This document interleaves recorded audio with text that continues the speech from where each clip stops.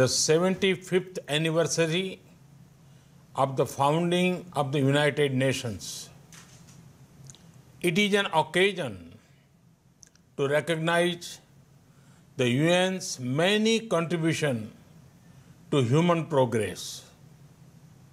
It is also an opportunity to assess the UN's role and relevance in today's world and to shape a better future for it. Excellencies, India was among the 50 founding members of the United Nations immediately after the Second World War. A lot has changed since then. Today, the UN brings together 193 member countries.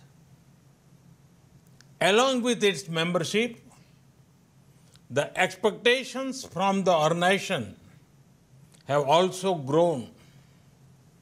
At the same time, multilateralism is facing many challenges today.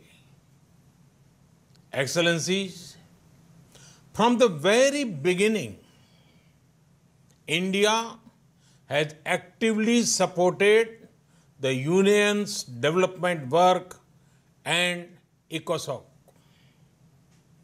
The first president of ECOSOC was an Indian.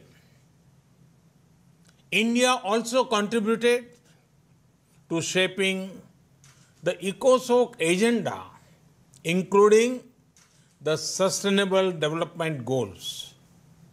Today, through our domestic efforts, we are again playing a salient role in achieving Agenda 2030 and the Sustainable Development Goals. We are also supporting other developing countries in meeting their sustainable development goals.